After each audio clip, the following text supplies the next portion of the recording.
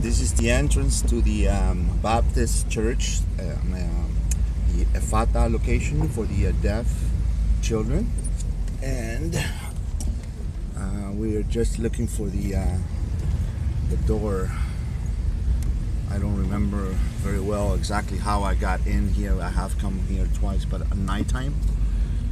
So I think this is it.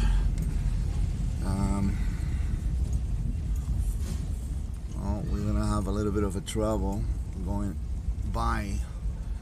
There is the door, but I won't be able to get in. So I might have to go the other way. Um, hay otra entrada por el otro lado para darse la vuelta. Por ahí no voy a pasar. Hay otra entrada en la esquina. Sí, me doy la vuelta nomás. Ya. Gra- Gracias.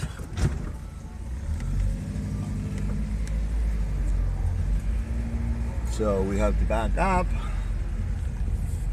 And uh, we gotta be careful we don't step on that or we don't run over that dog or that kid. So it's not a very hospitable area.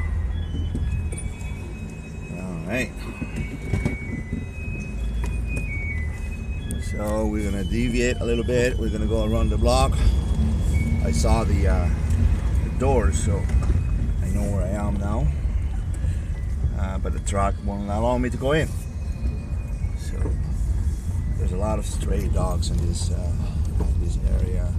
As you can see, you know, it's there's no roads.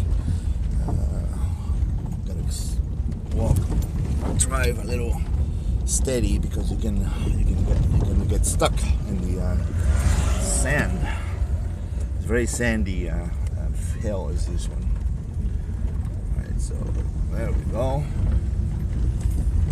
We went around, and uh, we're coming in the, uh, the back door of. This is where people come in to make deliveries, and the pastors go into this this uh, this entrance. So that is, this is it.